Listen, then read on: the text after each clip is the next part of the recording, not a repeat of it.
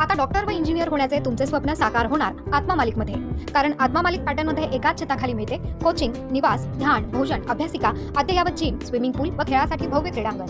NEET I I T JEE mains आणि advance M S T CET या सर्व परीक्षांची तयारी करून घेणारे सर्वोत्कृष्ट संकुल आत्मा मालिक शैक्षणिक व क्रीडा संकुलाचे आत्मा मालिक ज्युनियर कॉलेज कोकमठाण तालुका कोपरगाव जिल्हा अहमदनगर. संपर्क क्रमांक शहाऐंशी एकोणसत्तर साठ शून्य सात शून्य शून्य. शिर्डी मतदारसंघातले मतदार बंधू आणि भगिनींनो येणाऱ्या लोकसभेच्या निवडणुकीमध्ये आपल्याला मतदान करायचंय. देशाची भवितव्य ठरवणारी ही निवडणूक आहे. माझ्या अगोदरच्या अनेक वक्त्यांनी इथे मनोगत व्यक्त केलं. तेच तेच मुद्दे बोलण्यापेक्षा मला सर्व मतदारांना आणि इथे कार्यकर्ते त्यांना आवाहन करायचं आहे की महाविकास आघाडीचं सरकार जे आलं होतं कुणालाही कल्पना नव्हती की शिवसेना काँग्रेस राष्ट्रवादी एकत्र येऊ शकेल. हे तीन पक्ष एकत्र आले परंतु एकत्र येताना एक विचार त्यांनी महाराष्ट्राच्या हिताचा केला. सगळ्यात महत्त्वाचा प्रश्न आपण ग्रामीण भागात आहोत. शेतकरी मंडळ इथे आहेत. आज शेतीमालाला भाव हा अतिशय प्रमुख मुद्दा आहे. परंतु त्यावरती केंद्राचं शासन काही निर्णय घेत नाही. बेरोजगारी आहे महागाई आहे.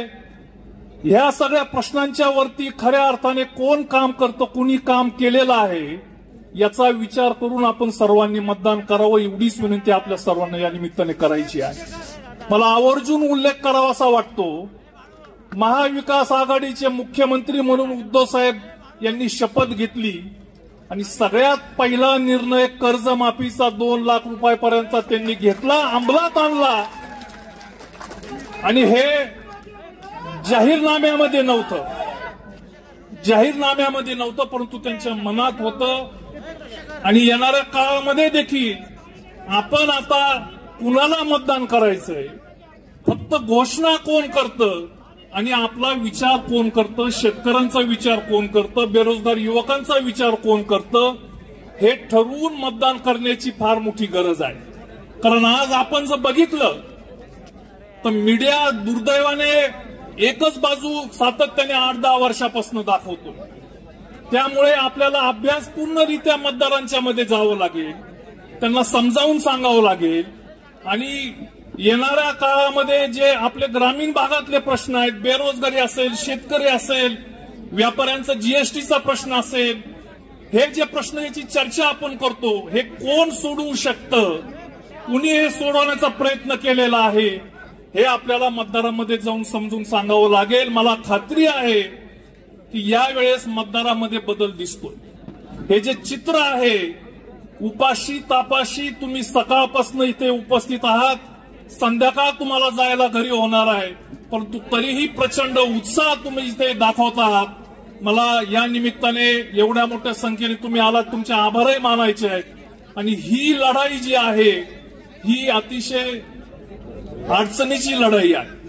आपल्या सर्वांना कल्पना असेल की ज्या वेळेस महाविकास आघाडीचं उद्धव साहेबांचं सरकार हे पाडल्या गेलं दगाफटकीने पाडल्या गेलं त्यावेळेस आमच्यासारखे कार्यकर्ते असतील नेते असतील महाराष्ट्रातले अनेक जण असतील. आणि तुम्ही देखील असताल की त्यावेळेस विचार केला होता आदित्य साहेब की आता शिवसेनेचं काही खरं नाही. त्यावेळेसचं एक महिन्याचं वातावरण अतिशय भयावह होतं. एवढा मोठा गट गेल्यानंतर आता शिवसेना तग धरेल का? परंतु मला आवर्जून आदित्यजी तुमचं कौतुक करायचं की तुम्ही कशाची भीड न ठेवता? महाराष्ट्राच्या कान्या कोपऱ्यात गेलात. एवढं मोठं आव्हान देशाचं राज्याचे जे प्रमुख पक्ष होते सर्व सत्ताधारी एकत्र आले.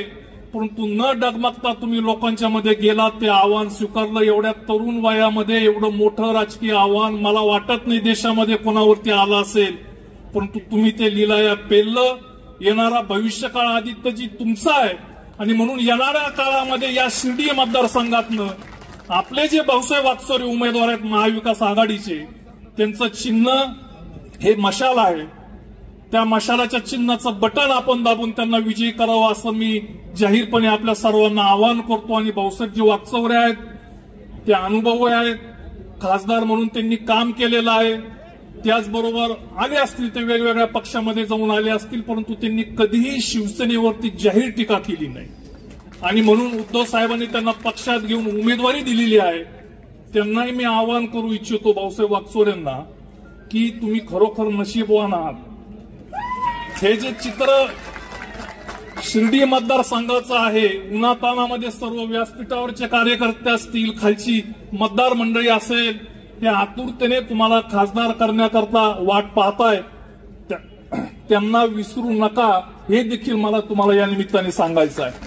हातात हात घालून आपण हे महत्त्वाचे जे प्रश्न आहेत शिर्डी मतदारसंघातले इथे आता ज्याचा उल्लेख केला पाटपाणी असेल निळवंडे धरण असेल वेगवेगळ्या धरणांचे प्रश्न असतील हे सोडवण्याकरता तुमच्यासारखा समर्थ उमेदवार आहे खासदार तो होऊन काम करेल अशी अपेक्षा व्यक्त करतो. आपल्या सर्वांच्या मनोपूर्वक आभार मानतो आणि माझे दोन शब्द संपवतो. धन्यवाद.